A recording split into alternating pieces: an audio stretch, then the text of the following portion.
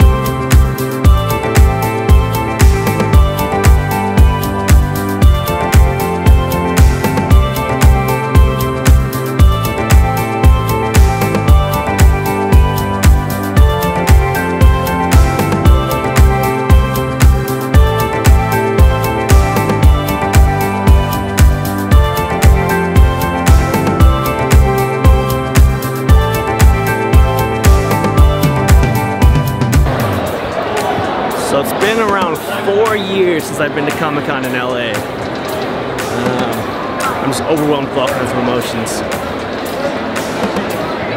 Uh, I'm home. There's so many things to see here, I don't even know where to start. I'm like a kid in a candy store.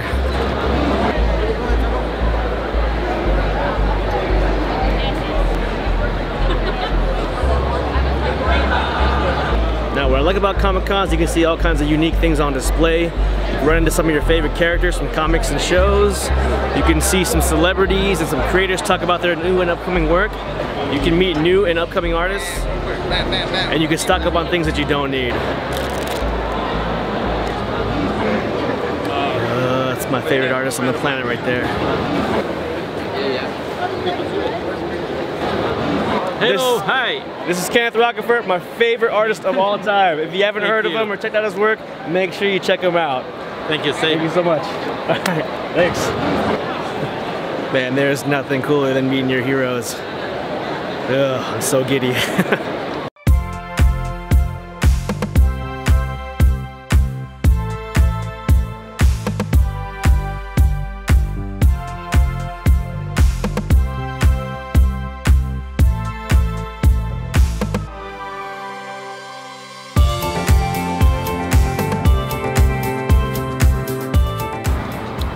those are the things that I like about Comic Con. But what I love about Comic Con is that there's something here for everybody. Now, I've been coming to cons for maybe 15 years now, and what I've come to love and enjoy is that there's so much variety and so much diversity that it would be almost impossible for somebody to come here and not find something. And there's no better feeling than finding an easy place to fit in. That's 15 weeks down, 37 to go. I'll see you guys next week.